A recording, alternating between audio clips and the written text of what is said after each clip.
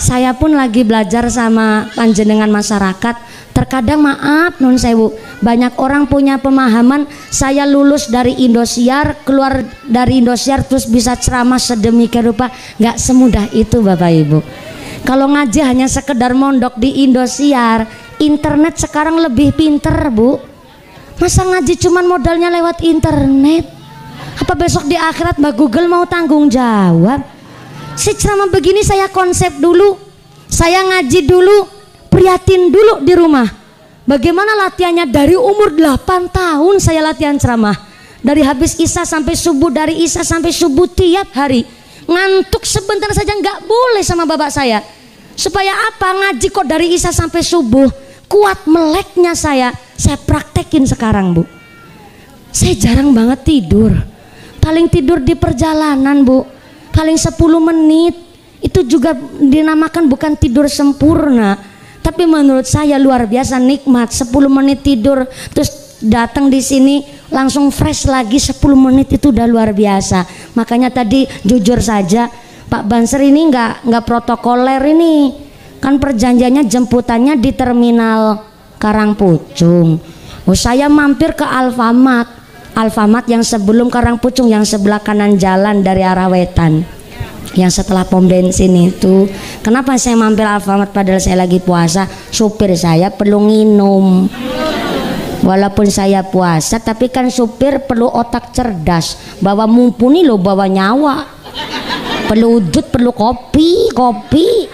Iya perlu ngerokok dan lain sebagainya maka saya mampir ke Alfamart. Eh banser weruh mobil saya menggok ke Alfamart dijemput di Alfamart.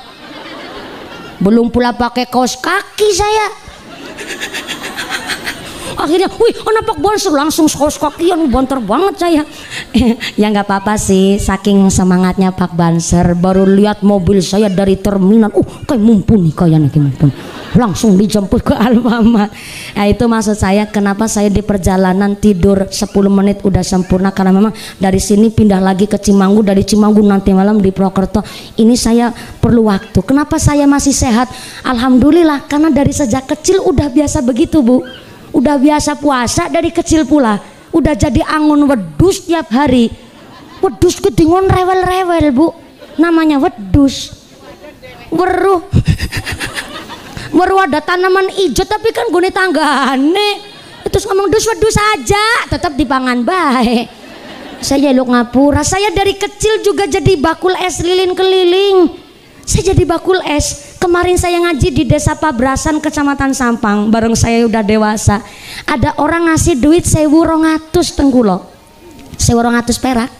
Saya bingung ini duit apa nih ame duit sewu rongatus? Si perasaan saya bukan tukang parkir. Parkir aja sekarang 2000 masih kurang wulung atus kiwong ini duit apa pak? Ternyata dia bilang dulu pas saya lagi gebyok nang sawah jenengan adol es aku utang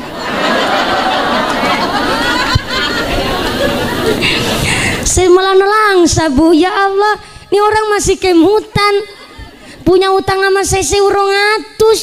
Tapi saya ketika disarutang barang udah dewasa saya dikasih duit seurong atus. Ternyata itu orang masih kemutan diutang sama saya. Ini satu teguran dari Allah. Mumpuni kue kelingan kue kecilik kue urip perkasa kue anaknya wong orang duwe kue bangun wedus kue bakul es ketika ditegur saya nyarutang sewu rongatus bareng saya udah dewasa kan satu teguran bagi saya. Supaya saya jadi mubaleghah yang tanggung jawab yang harus andap asor tetap tawadu walaupun udah dibilang sama MC juara satu berulang kali. Itu terlalu memuji saya membawa nama baik Cilacap dan lain sebagainya. Saya tetap bakul es. Saya tetap bangun wedus Kenapa? Saya diingatkan dengan ada orang nyarutang sewerongatus supaya saya jadi mubaleghah yang tetap andap asor, yang tetap tawadu, yang tetap rendah hati.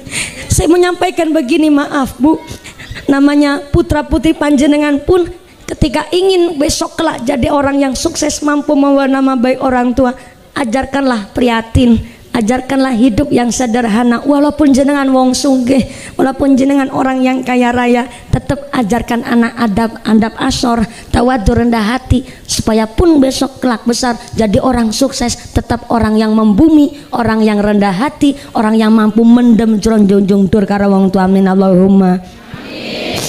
Eh dadi nelang sakulalah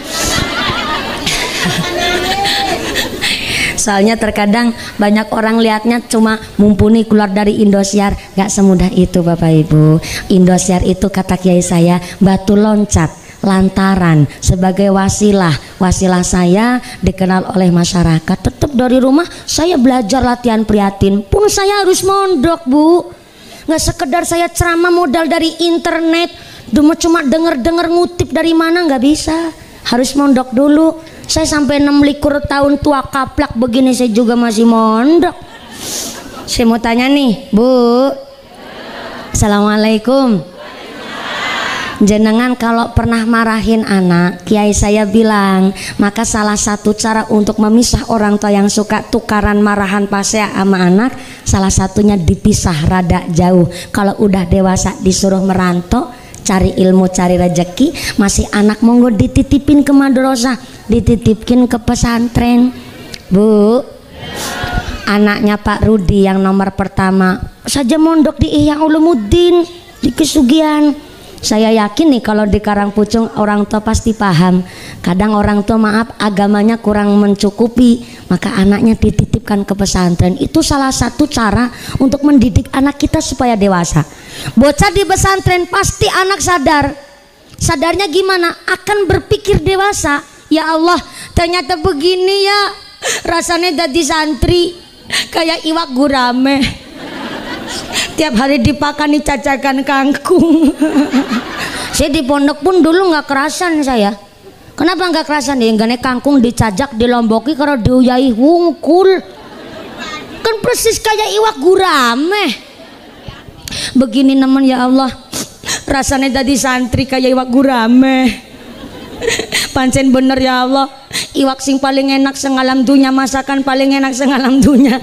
Gue masakannya mamane aku njaluk ngapura sering bantah karo ma sering ngomong elek maring bapak utawa kula kurang manut karo wong tua aku njaluk ngapura. Ya Allah muga-muga bapak mama ke kula diparingi sehat panjang umur. Ben aku balik kang pondok bisa nyicipi kangkung mama ke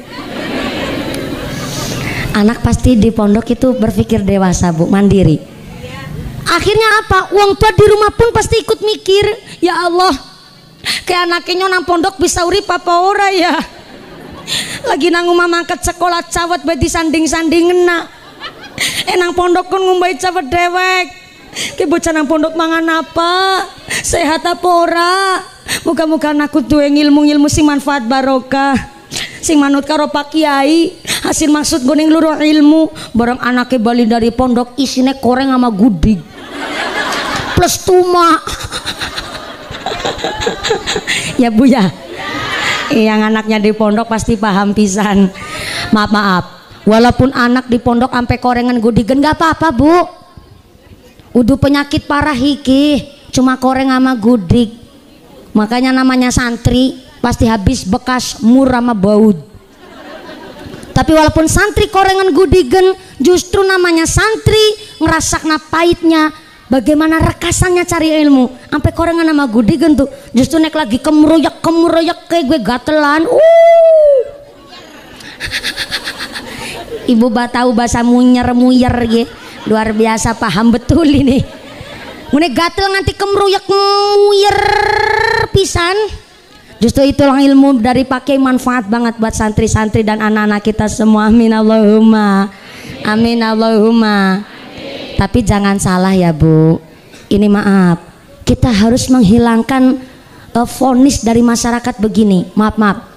Ada anak nakal, dibuangnya ke pesantren. Giliran anak pinter di sekolah ranking siji orang tua bilang, anu bahasa Sunda kalau manggil anak perempuan apa? Neng. Neng. Neng, kalau kamu di sekolah ranking satu, maka akan tak masukin ke sekolah favorit rata-rata begitu. Tapi giliran anak bocah nakal bocah bodoh wong tuane ngucap oh, bocah nakal pisan tak lebok na pesantren gue begitu di masyarakat. Emang pesantren itu buangan bocah nakal dableg saya sebagai penghuni pesantren saya nggak terima tuh. Pesantren di sini gue buangan kita masyarakat orang tua punya prinsip begini harus cita-citanya Neng kalau kamu di sekolah ranking siji maka saya masukkan kamu ke pesantren. Gitu. Jadi anaknya ya ilmu umumnya pinter agamanya kuat. Jangan malah pesantren cuma buat buangan anak nakal. Kejadian nih ada anak 15 tahun maaf hamil di luar nikah. Masih usia SMP bareng anak itu lahir bayinya lahir. Orang tuanya menghendaki anak ini walaupun udah jadi seorang ibu kepingin melanjutin sekolah. Didaftarin di sekolah negeri nggak keterima apalagi yang favorit wong anu dua anak. Akhirnya apa? Jalan akhir dimasukin ke pesantren. Ternyata di pesantren ragelem ngaji ragelem sholat. Kancane murojaah dewek ora gelem. Kancane apalan dewek ora gelem. Malah metu saking pesantren nakali luar biasa. Akhirnya masyarakat pada mengfonis ih bocah santri kok kayak gue ya bocah pondok kok seperti itu ya? Kiai ini kepriwe sing didik kiainya yang sih disalahin